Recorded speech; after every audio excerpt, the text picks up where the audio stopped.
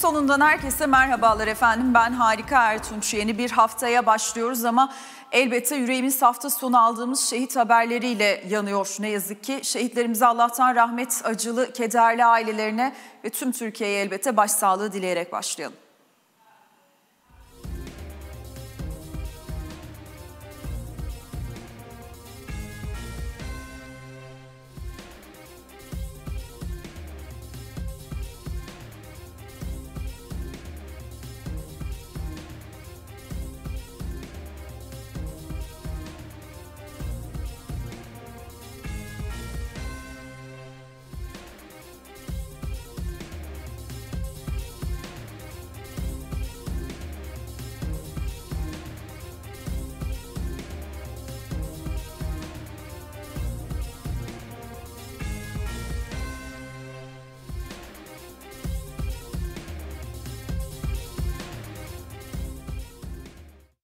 Rakamlarımıza bakalım. İlk olarak Borsa İstanbul Yüzana Endeksi 7367 gibi kritik bir puanda işlem görüyor. Yıl sonu olmasından e, mütevellit işlem hacmi oldukça dar. Dolayısıyla bu kadar sığ bir piyasada düşüşler ve yükselişler biraz daha hacimli olarak da görülebiliyor aynı zamanda. E, an itibariyle borsanın yabancılar tarafından da önemli görülen Fibonacci seviyelerine de yakın olduğunu ve her ne kadar e, kapanış seviyelerine yakın olsa da bir iki gün burada tutunup tutunamayacağına bakacak yatırımcılar 7450 seviyesinden eğer buraya gerileyip burada kapanırsa e, alım gelme ihtimalinin yani şu seviyelerin aslında e, alım gelme ihtimalinin de yüksek olduğu seviyeler olduğu belirtiliyor uzmanlar tarafından. Gelecek yıl beklentilerini aslında birazdan sevgili Eda Karadağ ile biraz daha detaylı olarak konuşacağız ama 2024'e dair beklentileri de artık yavaş yavaş şekillendirmeye başladık ajandalarımızda. Ee, hem enflasyon hem faiz tarafında hem borsa tarafında neler olup bitebilir tüm bu gelişmelere bakacağız ama potansiyel risk olarak belirtilen bazı e, durumlar var. Bunlardan bir tanesi kredi musluklarının kapanması. Öne çekilen tüketim harcamaları sebebiyle iç talebin gerilemesi, risksiz getirilerin enflasyonu yenmesi ve ihracatın beklenen kadar olmaması, zayıf seyreden dış talep, komşu ülkelerimizin özellikle ihracat pazarlarımızın düşük performans göstermesi gibi risklerin 2024 yılı için masada olduğunu belirtiyor uzmanlar. Peki e, neler 2024 yılı için fırsat olarak değerlendirilebilir? Tabii negatifleri aktarmışken bunu da aktarmakta fayda var. Not artışlarının önemli bir gündem maddesi olabileceği belirtiliyor aynı zamanda.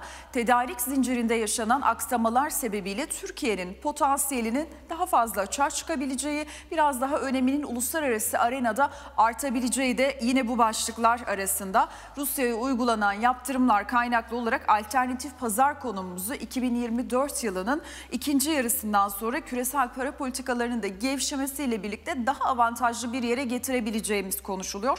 Bununla birlikte dolarizasyonun azalması ve yabancı fon girişinin de artması yine 2024'e dair olumlu senaryolar dahilinde diyebiliriz bunda. Devam edelim. Dolar TL'ye bakalım. Çok sınırlı bir geri çekilme görünüyor ekranlarımızda. 29-21 seviyelerini an itibariyle karşılıyoruz. Euro TL 32.02 seviyelerinde işlem görüyor. Yarım dolar yarım euronun karşılığı olan kur sepetine baktığımızda 30.62 dolayları an itibariyle bizi karşılarken gram altın dolar TL'ye paralel hareket ediyor. Bunun da sebebi ons altında biraz daha küresel piyasaların... Ee, aslında Noel tatili havasına neredeyse girmesiyle birlikte biraz daha e, sakin olması gram altının dolar TL'yi takip etmesine sebep oluyor. Aynı zamanda Londra ve New York'ta kapalı olduğu için zaten e, ons altının fiyatı yeni e, haftanın başında son derece dar bir bantta işlem görüyor.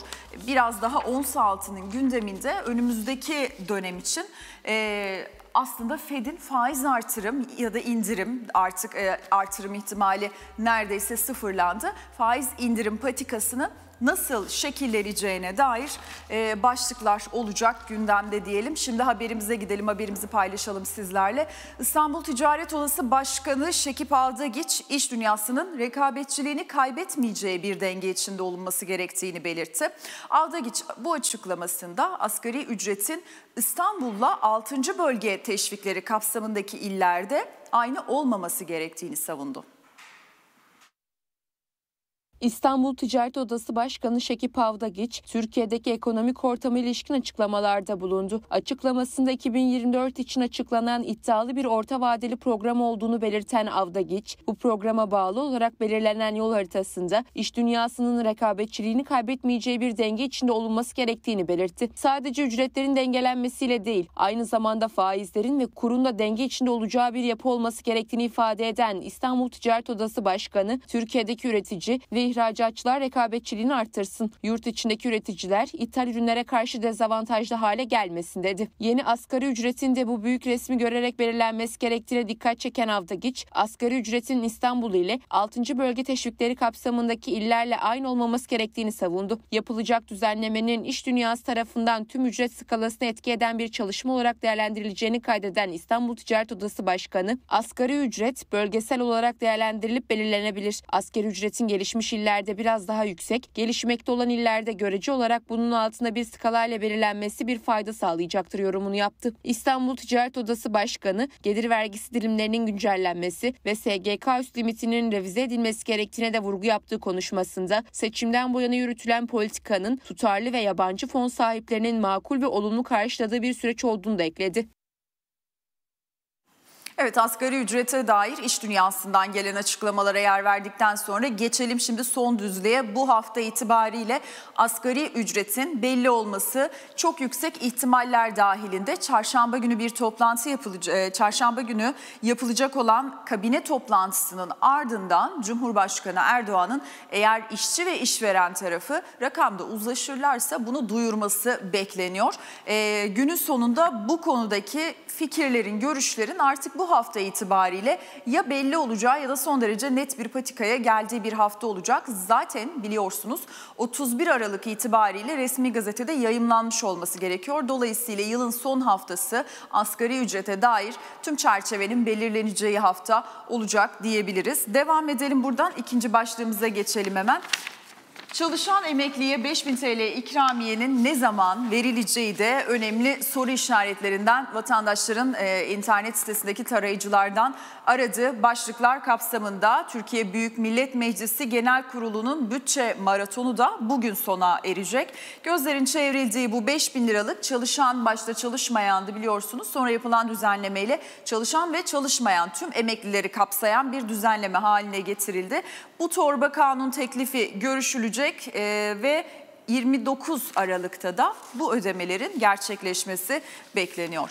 Devam edelim. Şimdi bir diğer başlığımıza bakalım. Bu da yine e, aslında hakkında bir kaotik bilgi karmaşası olan e, hatları çok netleşmemiş haberlerden bir tanesi. Kiralarda %25 zam sınırı e, uzatılacak mı? 1 Temmuz 2024'ten sonra bir dönem daha uzatılacak mı? Yoksa uzatılmayacak mı sorusu yine gündemde. E, bugün de bu konuyla alakalı olarak yine e, bazı karmaşık haber akışı vardı aslında. Fahiş kira artışlarının önüne geçmek amacıyla iki defa yapıldı bu düzenleme. Önceki dönemin %25'inden daha fazla olamayacaktı kira düzenlemeleri. Ve bu düzenleme 1 Temmuz 2024 tarihinde sona erecek. Sayın Bakan'ın bu konuya dair açıklama yaptığına ilişkin bir haber akışı vardı. Ama Dezenformasyonla Mücadele Merkezi attığı şu tweetle birlikte konuyu yalanladı efendim. Bazı basın yayın organlarında yer alan Bakan Şimşek %25 kira zammı sınırının kalkacağını açıkladı. İddiası manipülasyon içermektedir. Hazine ve Maliye Bakanı Mehmet Şimşek basına kapalı bir toplantıda iş dünyası ve finans dünyası temsilcileriyle bir araya gelmiştir. Konut kiralarında kira artışı oranını %25 ile sınırlayan ve 1 Temmuz 2024'te sona erecek olan düzenlemeye ilişkin kendisine yönlendirilen soruya yanıt olarak Bakan Şimşek düzenlemenin sona ermesine yakın tekrar bu düzenlemeyi gözden geçireceğiz demiştir. Bahse konu olan haberlerde iddia edildiği gibi konut kira artışlarında düzenleme ile ilgili henüz bir karar alınmamış olmakla beraber Bakan Şimşek'in de kamuoyuna bu konuyla alakalı resmi bir açıklaması bulunmamaktadır diye Dezenformasyonla Mücadele Merkezi tarafından X hesabı üzerinden bir açıklama yapıldı efendim. Bununla birlikte şimdi haberimize gidelim. Cumhurbaşkanı Recep Tayyip Erdoğan da Kentsel dönüşümde yarısı bizden kampanyasına bugüne kadar 1 milyon 233 bin bağımsız bölüm için başvuru yapıldığını açıkladı. Erdoğan hedeflerinin 350 bin konutun dönüşümünü gerçekleştirmek olduğunu da söyledi.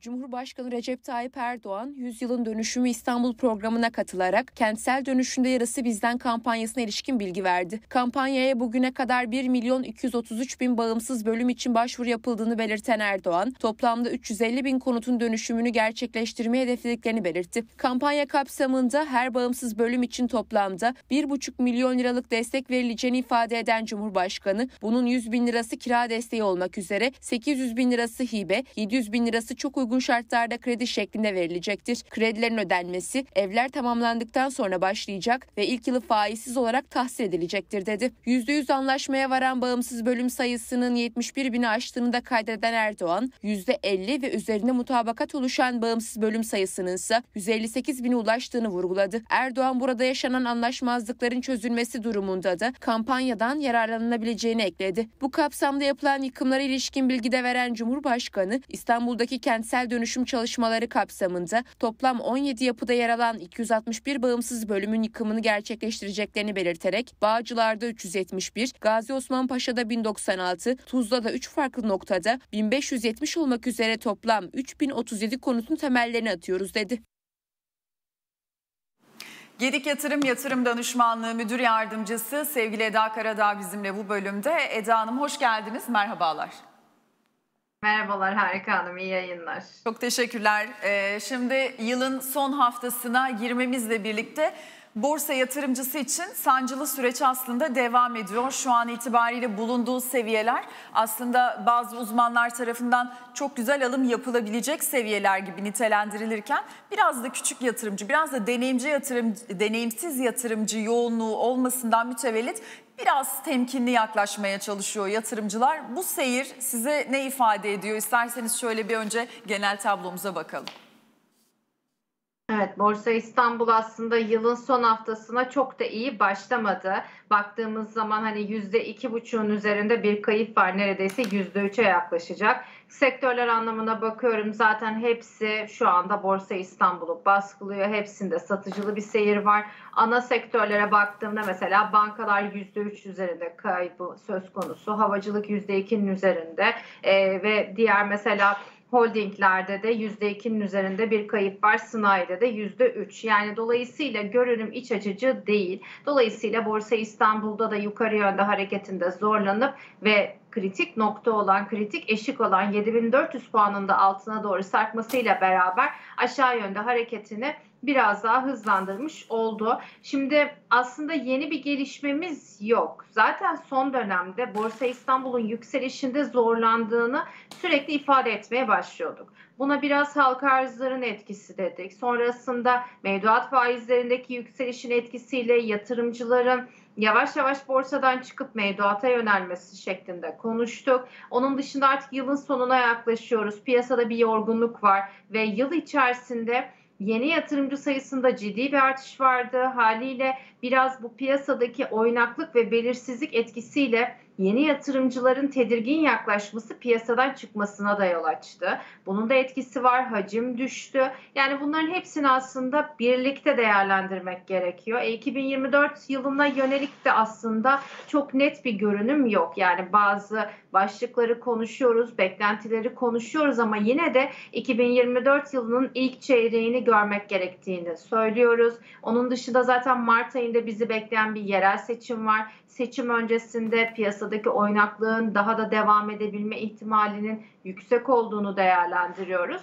O yüzden bundan sonraki süreçte yeni bir yıla başlarken özellikle portföylerde Elbette hisse senedi ağırlığını korumaya devam edeceğiz ama bunun ağırlığını arttırıp azaltma konusunda tamamen yatırımcının profiline bağlı olarak değiştiğini düşünüyorum. Yani riski seven bir yatırımcı zaten sürekli trade ettiği için riski sevdiği için daha farklı hareket edebiliyor. Ama riskten kaçınan özellikle volatilitenin yüksek olduğu bu dönemlerde nasıl hareket edeceğini bilmeyen yatırımcılar biraz daha orta ve uzun vadeli e, bir e, portföy oluşturabilirler veya temettü yatırımcılığı yapabilirler. En azından onlara biraz bu şekilde bir yol gösterebiliriz düşüncesindeyim. Onun dışında toparlayacak olursam da teknik anlamda görünüm zayıf.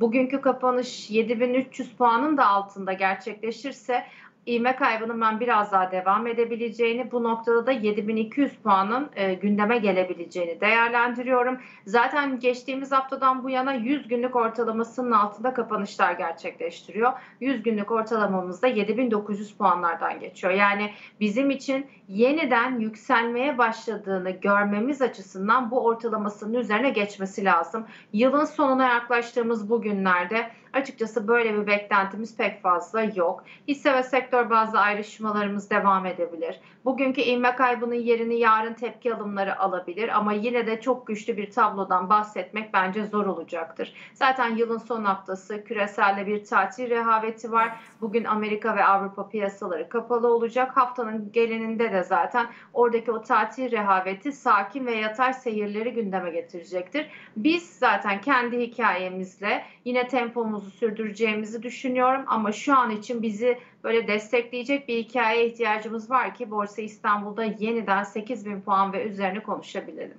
Ee, şimdi siz konuşurken birçok başlığa not aldım. Tabii ki sektör ve hisse bazlı ayrımları da bir yerinde e, sohbetimizin bir yerinde yer veririz ama e, özellikle bu sene o zaman biraz daha e, çok deneyimli olmayan yatırımcı için bunu söylüyorum elbette trader mantığından uzakta durup e, daha uzun vadeli yatırımlar yapmak, biraz daha e, şirketlerin gerçekten inandıkları şirketlere yatırımlar yapmak ve bunlardan da orta ve uzun vadeli dönüş almayı hedeflemek gibi borsa içinde de mi kendine güvenli bir liman oluşturması gerekiyor yatırımların? Çünkü yatırımcıların çünkü biz e, bundan işte geçirdiğimiz sene ve önceki sene için baktığımızda çok kolay kazanımlar elde edildiği için biraz da trader mantığında yaklaşmaya alıştı aslında yatırımcı.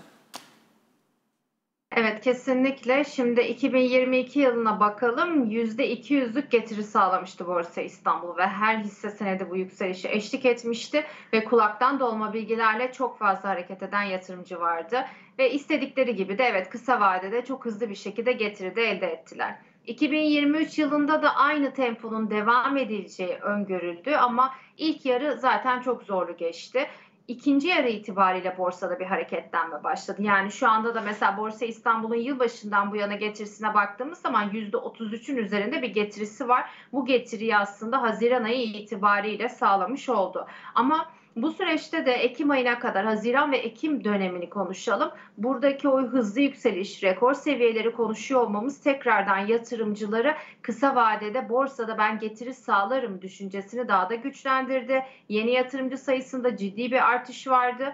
Haliyle bu da yine kulaktan dolma bilgilerle hareket ederek ben bu işi hallederim düşüncesini gündeme getirdi. Ama Ekim ayından sonra işler işte istedikleri gibi gitmedi. O yüzden şu anda piyasada hacim düştü. Yatırımcı sayısında da bir azalma söz konusu.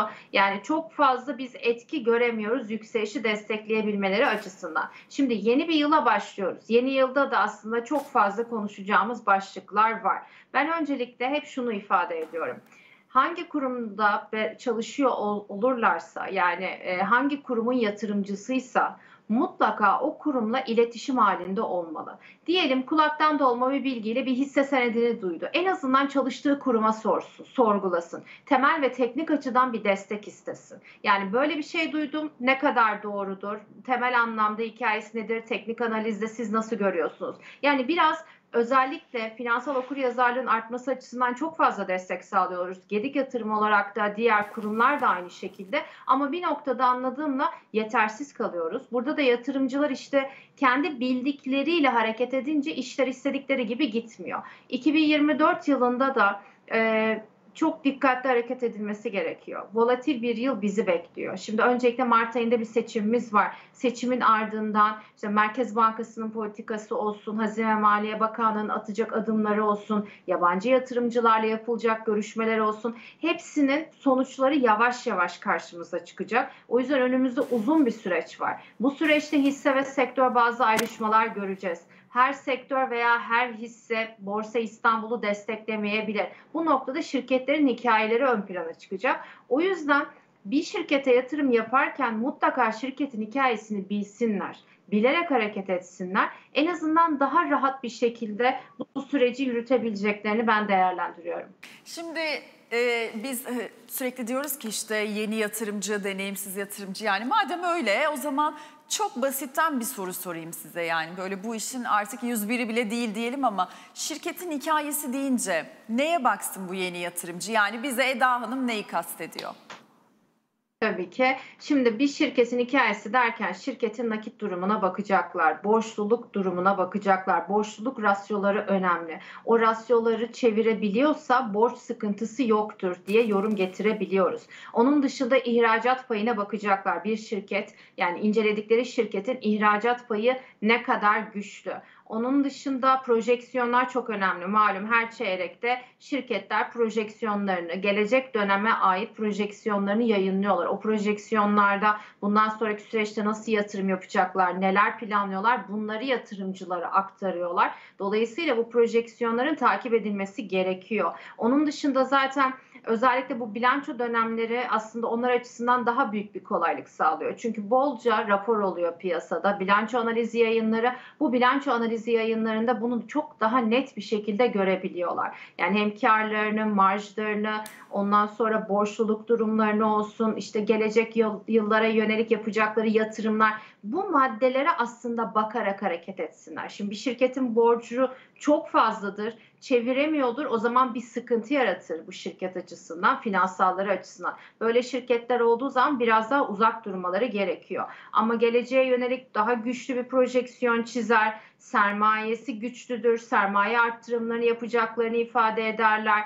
bunlar daha e, yakından takip edilmesi gereken aslında başlıklar olarak karşımıza çıkıyor. Evet yani e, yurt dışı yatırım planları var mı, döviz geliri var mı, ne kadar döviz borcu var bunların hepsine yatırımcının yakından dikkat etmesi lazım. Şimdi tabii yavaş yavaş e, aracı kurumlarında raporlarını almaya, takip etmeye başladık. E, şöyle bir isterseniz sizin de faiz, enflasyon e, beklentilerinizi, dolar TL beklentinizi de 2024 için alalım kurum olarak. Evet biz de yakın zamanda zaten strateji raporumuzu da yayınladık. Şimdi baktığımız zaman aslında önümüzdeki yıl açısından yine e, önemli başlıkları takip edeceğiz. Az önce de ifade ettim özellikle seçimle ilgili gelişmeler, seçimin sonucu. Bir tarafta Merkez Bankası ile de ilgili tabii ki beklentiler var. Çünkü para politikasında sıkılaşma döngüsünün sonuna gelindiğine dair zaten mesajlarını verdi. Geçtiğimiz hafta da e, bu konuyla da ilgili zaten toplantıyı da takip ettik. Ocak ayında büyük ihtimalle bir faiz artışı daha görüp ama sonrasında artık yavaş yavaş Merkez Bankası'nın e, faiz artışına son verebileceğine dair beklentilerimiz var. Onun dışında şimdi kurum olarak baktığım zaman e, özellikle bu yıl özelinde dolar TL tarafındaki beklentimiz, yıl sonu beklentimiz e, 29.50 olarak karşımıza çıkıyor. Yani 29 lira 50 kuruş. 2024 yıl sonu beklentimize bakıyorum. 40 liralarda şu an için şekilleniyor. Elbette gelecek sene de yine yayınlayacağımız raporlarda bu noktada güncellemeye gideceğiz. E, sonrasında ben baktığım zaman Mesela enflasyon tarafını önümüzdeki hafta zaten Aralık ayı enflasyonu da takip edeceğiz. TÜİK tarafından gelecek. Bu yıl sonu için beklentimiz biraz daha %65 civarı bir enflasyonla kapatması yönünde. Gelecek sene yıl sonundaki beklentimizde %42 olarak karşımıza çıkıyor. Yani şu an için yavaş yavaş bizde de beklentiler şekillendi. Bunu da zaten yatırımcılarımızla da paylaştık. Detaylı bir şekilde raporumuzda da yer verdik. Peki şimdi bir e, araya gidelim. Aranın ardından Eda Hanım sizle kaldığımız yerden devam edelim. Sormak istediğimiz birkaç soru daha var ama önce kısa bir ara.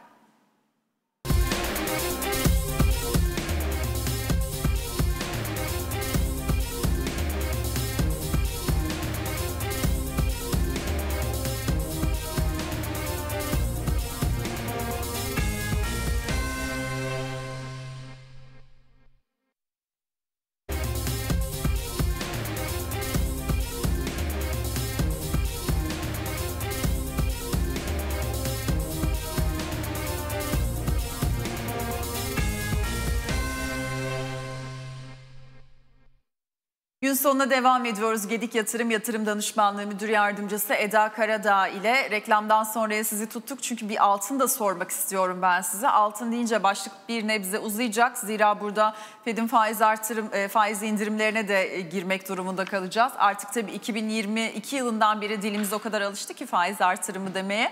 E, biz biraz zorlanacağız sanki faiz indirimine adapte olmaya ama piyasa bizim kadar da zor adapte olmayacak gibi görünüyor şu anki seviyelere de baktığımızda. Altın ve Fed için birleştirirseniz neler söylersiniz?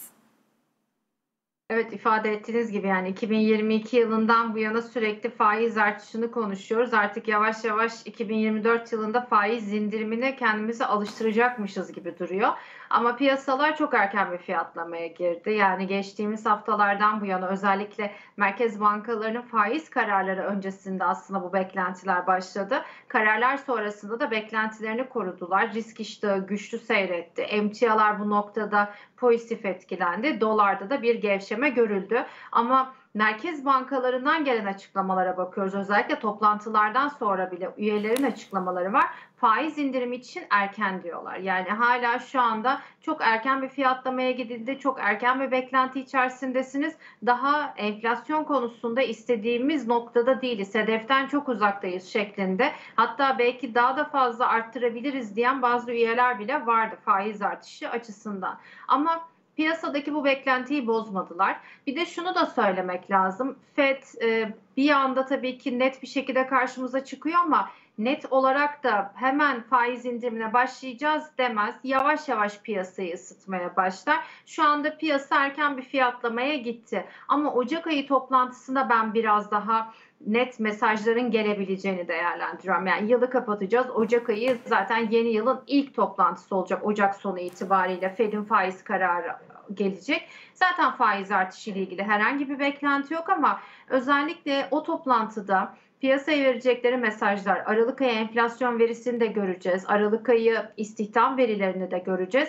Bu veri setinden sonra da bakalım piyasadaki beklentileri değiştirebilecekler mi? Eğer yine güvercin tonda piyasaların karşısına çıkarlarsa o zaman piyasa daha net bir şekilde faiz indirimi beklentilerini korumaya devam eder diye düşünüyorum. Zaten yabancı kurumlar beklentilerini Mart ayına çektiler, erkene çektiler Aralık ayı toplantısından sonra. Yani şu an piyasada bir faiz indirimi beklentisi oldukça güçlü. İlk çeyrek itibariyle böyle bir beklenti var ama yine de ben Ocak toplantısı sonrası bu beklentinin daha da şekillenebileceğini düşünüyorum. Bir Fed'in açıklamalarını önümüzdeki toplantıda da görmek gerekiyor. Şimdi emtialara geçecek olursam yani ons altın tarafına 2000 dolar seviyesinin üzerine yerleşti aslında biz pandemi yani 2020'den beri 2000 dolarları konuşuyorduk ama çok e, hareketinde güçlü kalamıyordu. Test ediyordu ve tekrardan yerini satışlara bırakıyordu. Bu sefer çok ısrarcı çıktı. Yani 2000 dolar seviyelerinin üzerine neredeyse Kasım ayının sonu itibariyle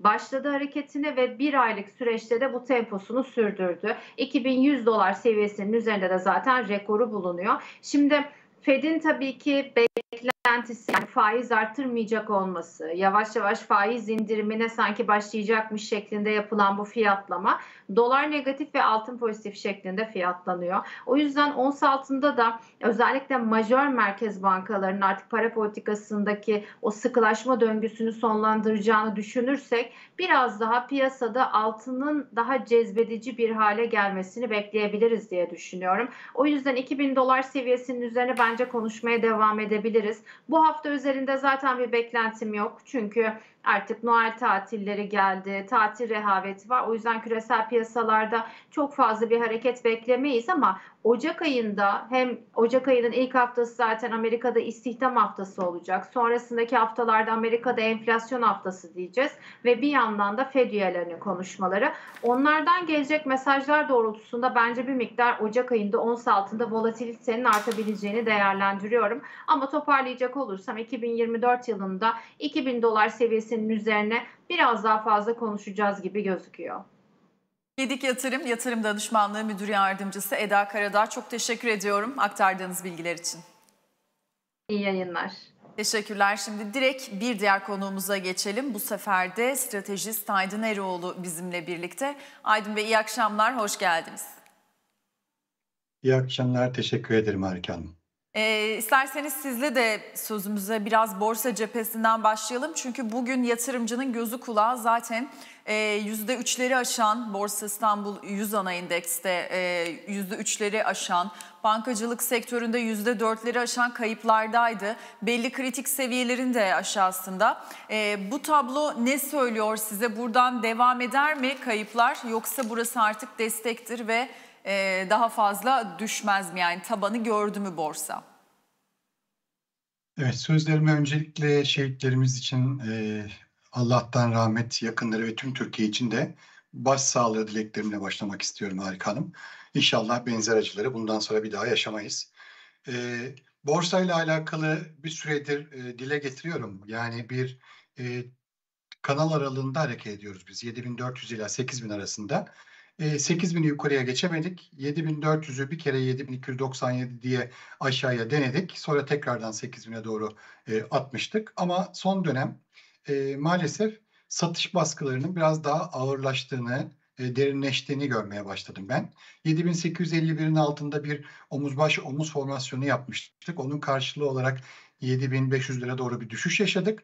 Şimdi 7520'nin altında benzer bir formasyon daha oluştu. Bunun da karşılığında biz e, aşağı yukarı 400-500 puanlık 7100 ve 6900'e doğru e, bir düşüş yaşama riskine sahibiz teknik olarak. Şu anda bu formasyon gerçekleşiyor. E, bugün Christmas tatili sebebiyle dış piyasaların kapalı olması, e, Cuma günü yaklaşık 2.1 milyarlık satış yapan Bankof'un bugün e, robotlarının kapalı olması e, yönün e, biraz daha işte mal yiyen piyasanın aşağıya düşmesine e, neden oldu. E, yarından itibaren eğer e, banko piyasaya döner e, satışlarla gelirse e, hızlı bir şekilde biz 7100-6900'e doğru düştüğümüzü görürüz. Ama e, işte Cuma sattığı 2 milyarın karşılığında bir alım yapmaya kalkarsa o zaman yine önceki haftalarda günlerde yaptığı gibi tek bir kurum olarak teknik analizin beklentisi dahilindeki düşüş formasyonunu tersine çevirip Borsa İstanbul'u yeniden 7520'nin üstüne atabilir. Kısaca 7520'nin altında kalan Borsa İstanbul e, teknik olarak bana göre 7100 6900 seviyelerine doğru düşüyor diye düşünüyorum ben Harika Hanım. Peki işte tabii yılın son haftasında olmamızdan mütevellit aslında birçok e, sorumuzda dönüyor dolaşıyor 2024 yılına bağlanıyor ister istemez. 2024 yılı için borsanın hikayesi ne olur gibi böyle ben çok klişe bir soru sormak istemiyorum aslında sizlere. Bunu biraz daha özelleştirecek olursak eğer e, en azından yılın ilk çeyreği için potansiyel riskler, riskleri nasıl sıralarsınız? En büyük risk tabii ki mali seçimler mali seçimler sonrasında acaba ekonomik kade, e, kabinesinde ya da ekonomik kadrolarında bir değişim olur mu? Olursa ortodoks para politikalarında biz Naci Abal döneminde olduğu gibi yeniden bir ters yüz olur muyuz endişesi var. Bu e, sadece bizde değil, reyting kurumlarında da bu endişeler dile getiriliyor. Hatta Türkiye'nin böyle bir değişim yapabilme lüksü yok şeklinde ifadeleri olarak bile yansıdı açıklamalar içerisinde. Benim açımdan da en önemli risk önümüzdeki seçimler bizim. E, tabii bir de bunun dışında e, bizim işte İsveç'in NATO'ya üyeliğiyle alakalı e, Amerika'yla ya da Batı'yla e, yaşadığımız bir sıkıntı var. Şimdi biz eğer F-16 e, tedarikiyle alakalı Amerika ile uzlaşır, İsveç'in NATO'ya üyeliğini geçirirsek o zaman bizim seçim sonrasındaki risklerimiz e, biraz daha hafifler. Hayır bunu yapmazsak e, reyting işlerinin ben çok ciddi derecede siyasi güçten çok etkilendiğine inanıyorum. E, bunu yapmazsak o zaman biz e, önümüzdeki dönemde e, Amerika'nın e, işte İsrail'in reytinglerin e, bizi sıkıştırdığı bir süreçle karşı karşıya kalırız. Ama e, Türkiye olarak ortodoks politikalara döndüğümüz için bir sene öncedeki e, riske aynı şekilde açık değiliz. E, çünkü Merkez Bankası rezervleri yaklaşık 146 milyar dolar brüt olarak e, bir düzeye ulaştı e, ve faizleri de enflasyon paralelinde arttırmaya devam ediyoruz. Eğer e, biz yılbaşındaki gibi enflasyon artarken faizi düşürüyor olsaydık e, böyle bir süreçte çok daha büyük bir tehlikeyle karşı karşıya olurduk.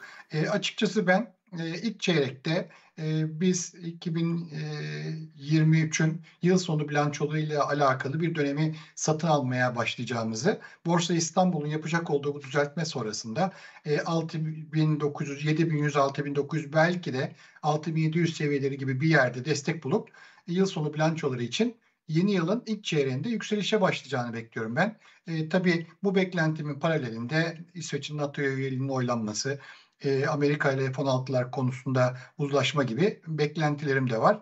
E, burada da çözüme ulaşılacağını düşünüyorum. Şahsen 2024'te Borsa İstanbul için pozitif beklentimi korumaya devam ediyorum. Yaşadığımız 2000, e, 2023 6 aylık bilançolar sonrasında gereğinden fazla satın alınmış olan Borsa İstanbul'un e, bir düzeltme e, yapması anlamında. Bu düzeltmeyi 6 aylık bilançolar sonrasında görmeyi bekliyordum. Ama dediğim gibi 7297 seviyesinden yukarıya dönerek bu düzeltmeyi tamamlayamamıştık. Şimdi bize maalesef o düzeltmeyi yaptırıyorlar. Tabii bunun içerisinde neler dahil oldu?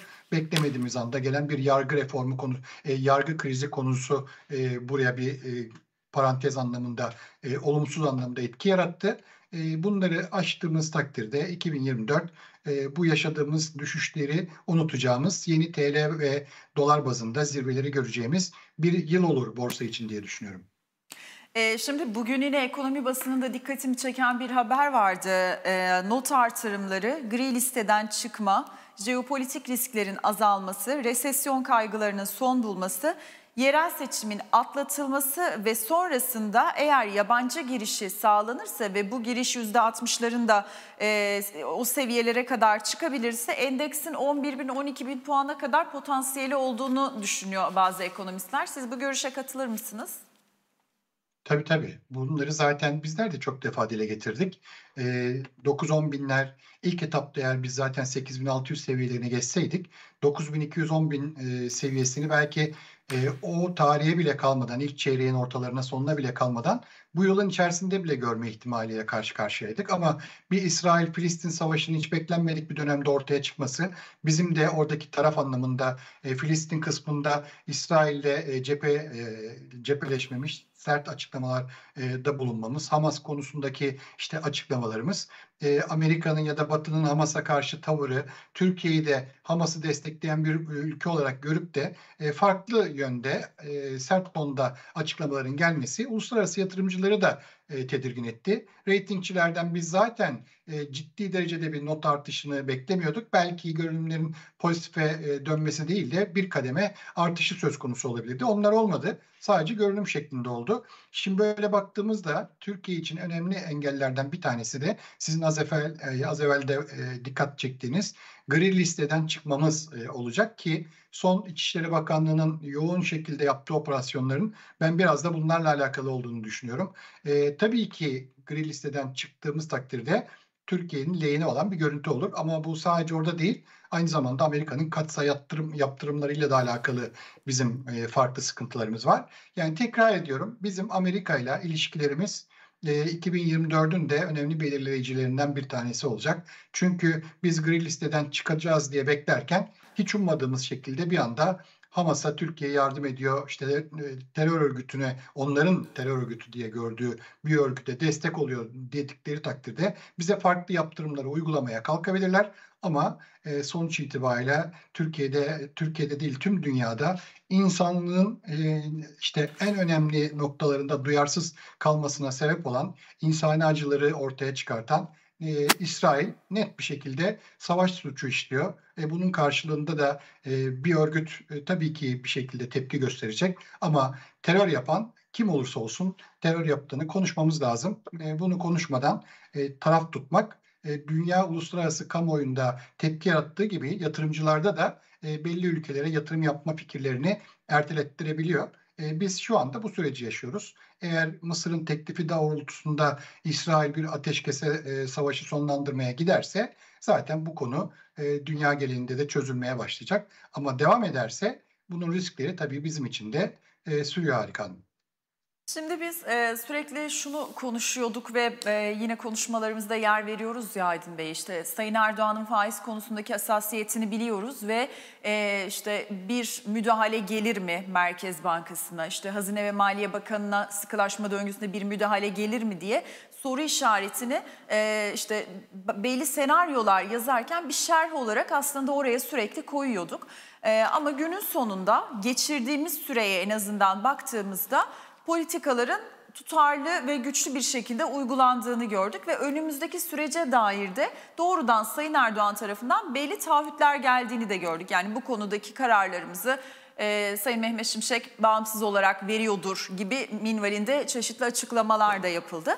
Bu tabii enflasyonun zirve yaptığı süreçlerde gelen ve mecburi acı reçeteyle birlikte geçirdiğimiz bir süreçti.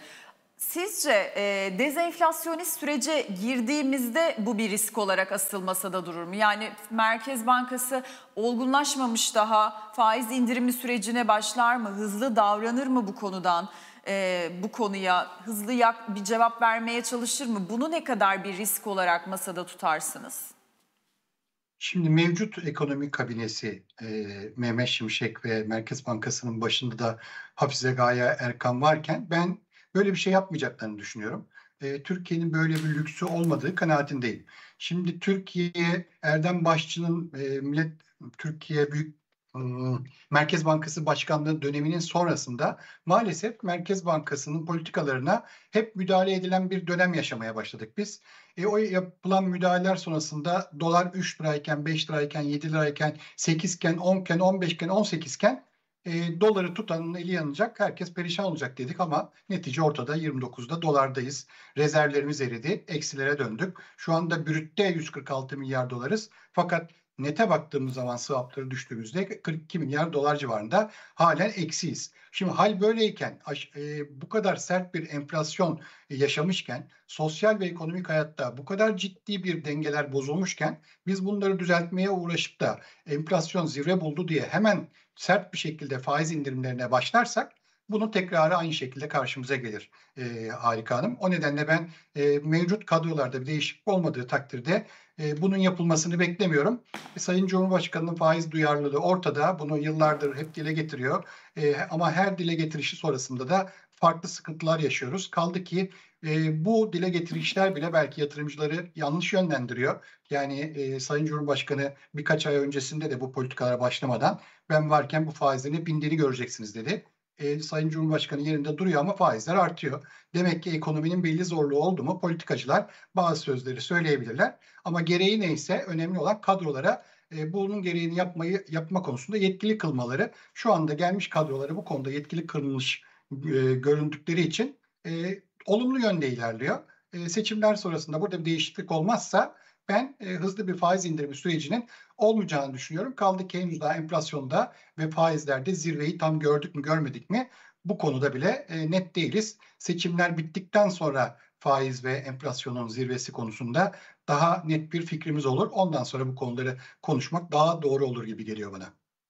Evet, e, şimdi önümüzdeki sene zaten Türkiye ekonomisi açısından da aslında e, çok stabil geçmeyecek. Şu anlamda çok stabil geçmeyecek. Bunu da yine Merkez Bankası'nın projeksiyonlarından söylemek gerekirse işte biz e, yılın ilk 5-6 ayında enflasyonda yine bir dizginlenme görmeyeceğiz. Mayıs'ta zirve yapması beklenen bir enflasyon var. Bu aralıkta finansal enstrümanlar farklı hareket edecek.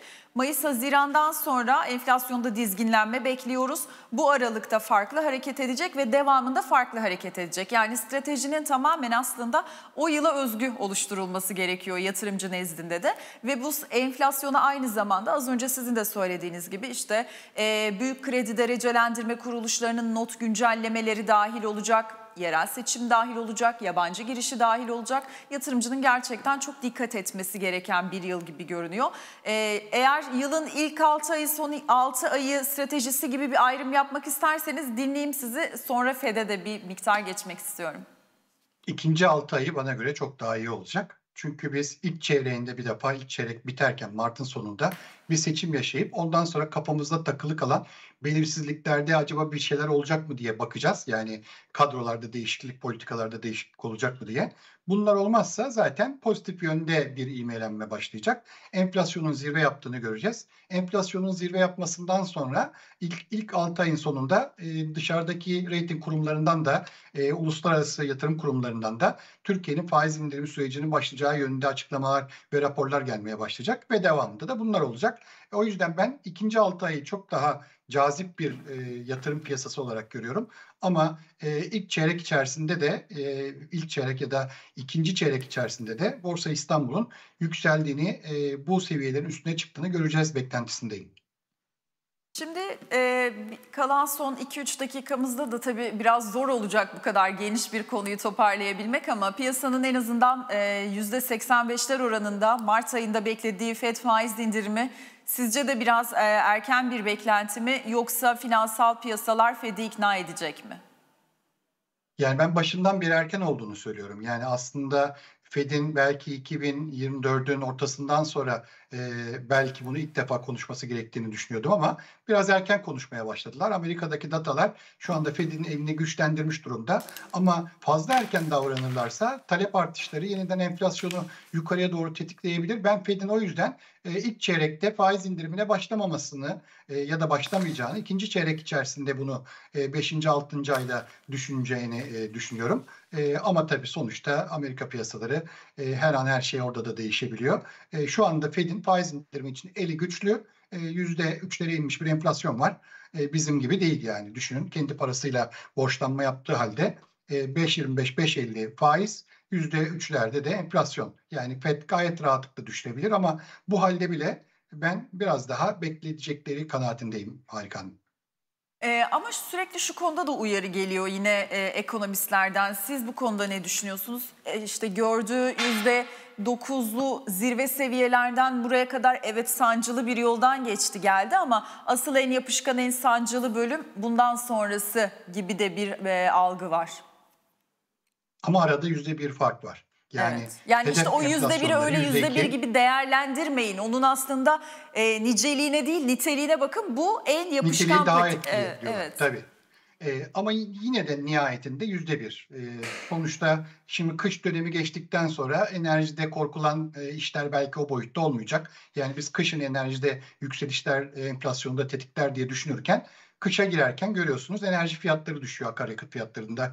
Ciddi düşüşler oldu gördüğü seviyelere göre. Şimdi kış bittikten sonra aynı boyutta doğalgazda ve enerjide fiyat artışlarını beklemek doğru olmaz. Bu da Fed'in elini rahatlatır. Şimdi böyle bakınca e, benim aslında farklı düşünmüyoruz. Ben de ne diyorum? İkinci çeyreğinde yani 6 ayın içerisinde doğru bir faiz indirimi düşürürse düşürür dememin temel sebeplerinden bir tanesi de Fed'in e, yeniden bir enflasyonu arttıracak bir talep artışı söz konusu olmasın diye beklemede kalacağını söylüyorum. Yani o yüzde bir bir fark var ama e, o yüzde bir için bile FED biraz daha temkinli olacaktır.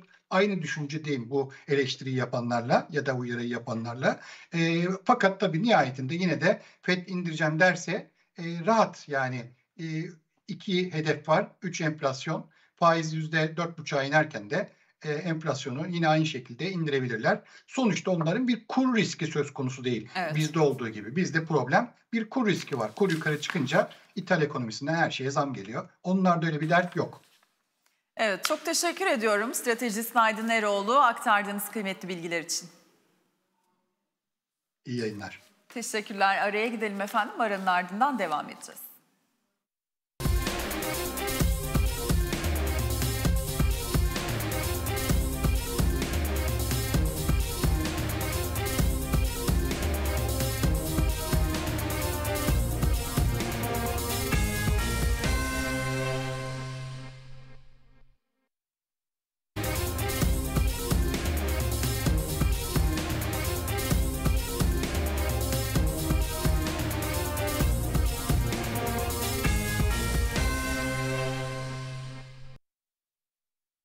Global piyasalarla karşınızdayız. Filip Kapital uzman yardımcısı Berke Gündoğan bize eşlik ediyor. Berke Bey hoş geldiniz. Küresel piyasaların gündemini sizden dinleyelim.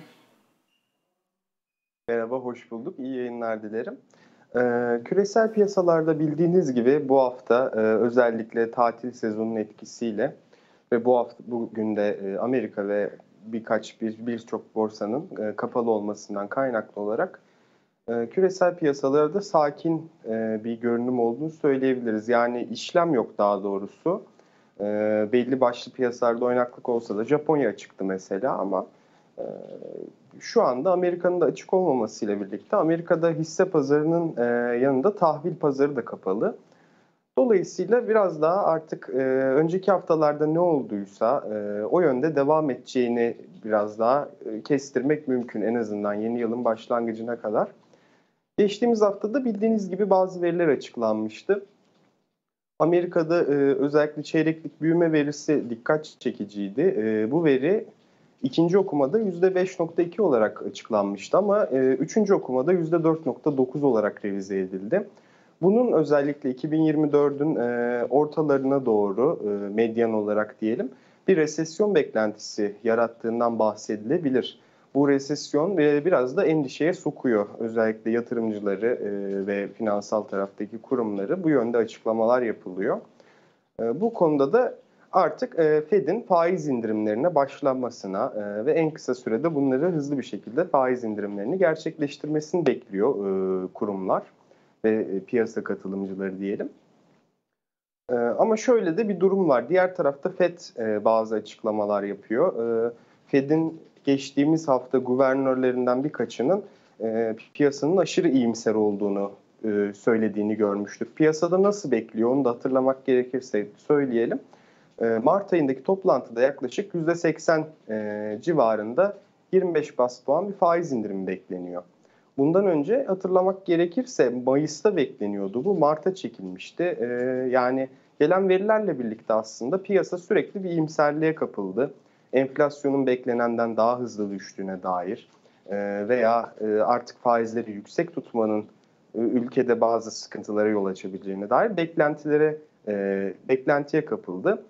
Ve özellikle son FED toplantısında Powell'ın da konuşması destekledi bunu. İşte Powell da aslında güvercin tonla konuştu. FOMC'nin açık piyasa komitesinin aslında şeylerinde, tutanaklarında da birçok Fed üyesinin beklentilerini aşağı yöne çektiğini gördük. E, yani o yüzden piyasada bir imserlik oluşmuştu. Ama şimdi geçtiğimiz hafta baktığımız zaman Fed'den e, piyasa çok iyimser yorumlarını aldık. Yine de bu etkili olmadı. Piyasa gerçekten de faizlerin hızlı bir şekilde düşeceğini fiyatlıyor bu noktada.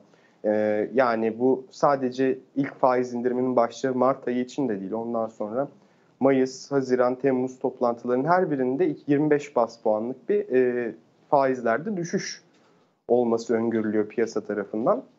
Bu bizi nasıl etkileyebilir küresel piyasalarda? Ya bildiğiniz gibi e, Nasdaq, S&P e, ve bütün Amerika'daki borsada çok güçlü bir hareketlilik oldu son dönemde. Bu da e, bahsettiğim iyimserlikle oldu aslında. Bu iyimserlikle birlikte e, hisse tarafında artık e, şeylerin, faizlerin e, son noktaya geldiğinin, daha fazla yükselmeyeceğine e, olan yatırımcıların beklentisi sebebiyle hem işte 10 yıllık tahvillerdeki tahvil faizlerindeki düşüş olsun, hem hisse tarafındaki yükseliş olsun, e, piyasada da biraz risk iştahının da arttığını gördük. E, bunlarla karşılaştık aslında. Ama şu anda e, baktığımızda piyasa eğer çok iyimser kalıyorsa ve ileride bu beklentiler gerçekten Fed'in bu beklentilerin iyimser olduğunu düşünüyorsa, projeksiyon onu göstermiyorsa aslında o zaman biz şununla karşılaşabiliriz. Zaten hali hazırda zirveye yaklaşmış veya geçmiş Amerikan endeksleri var. E, S&P biraz e, en geride olanları olarak yani geçemeyen olarak karşımıza çıkıyor. Dow Jones zaten e, tarihi zirvesini geçti. Yani aslında apayrı bir ufka yelken açması gerekiyor bu endekslerin ama önümüzdeki dönemde bu beklentilerin e, daha yavaşlaması, faiz indirimlerinin daha gerçekleşmemesi durumunda, e, beklenildiği kadar hızlı gerçekleşmemesi durumunda bizim karşılaşacağımız tablo biraz daha hisse piyasalarında baskılanma olabilir. E, ABD'de veya bu emtialara da yansıyabilir. Orada da baskılanma olabilir. Tekrar doların biraz daha güçlü kalmaya başladığını, dolar endeksinin ve tahvillerin de faizlerin arttığını görebiliriz. Bu senaryo e, biraz daha yatırımcılara hem yani buna karşılık olarak aslında şu anda piyasada resesyon çekincesi en önde çıkıyor. Geçtiğimiz hafta Cuma günü zaten son veri olarak da kişisel tüketim harcamaları verisi açıklandı Amerika'da. Bu da e, aslında piyasa iyimserliğine paralel olarak beklenenden az geldi e, ya endeksteki artış. Hem e, enerji gibi şeylerin dahil olduğu çekirdek tarafında hem de normal tarafta kişisel tüketim harcamalarının da piyasa iyimserliğini desteklediğini gördük. E, dolayısıyla şu anda tabii ki az önce biraz daha kötü bir senaryodan bahsettik ama normal e, piyasa beklentileri durumunda yine endekslerin önünde bir engel görünmüyor şu anda. Büyük bir engel görünmüyor. Çünkü zirveyi aşan endeksler var. Ve bu endekslerin aşması da öyle bizim e, alışkın olduğumuz işte büyük, çok büyük piyasa değerine sahip olan büyük şirketler işte Meta olsun, Amazon olsun, Nvidia olsun bunlar gibi e, hisselerden ziyade genele alınan bir genele yayılan bir alımla gerçekleşti. Dolayısıyla kötümser olmanın da e, çok e, gerek olmadığını düşünüyoruz kötümser olmaya diyerek e, bu noktada küresel piyasada görüşümüzü bildirmiş olalım. Berke Gündoğan çok teşekkürler aktardıklarınız için.